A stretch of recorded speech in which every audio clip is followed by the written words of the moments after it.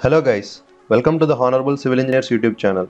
Today in this video, we are going to monitor the reinforcement details of staircase with the help of an animation video.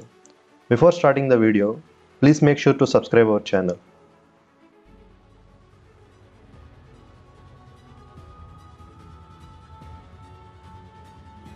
Let's start. These are the steps and railings of the staircase. If we remove them, then we can see only the structural body of the staircase as shown in the video.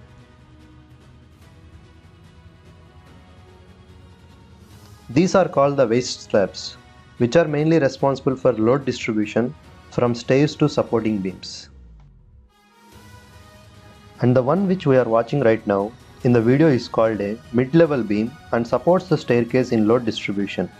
It will be designed separately, same as the case of a conventional beam. So I am removing it for now. And then this part is called landing slab. And now finally we are going to see the types of reinforcement bars in a staircase. There are mainly four types of bars in the waist slab. They are main straight bars, main cranked bars, additional bars and finally distribution bars.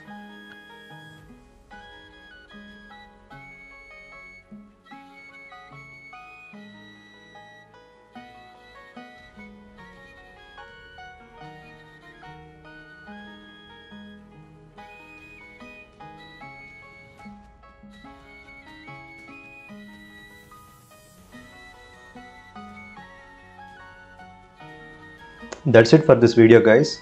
Hope you liked it. If you have any queries regarding this video or if you want the animated explanation of any civil engineering concept, please do comment that in the comment section below. Please do subscribe to the channel guys. It means a lot to us and also gives us the motivation to create more such videos. Like the video and share it with your friends. Thank you.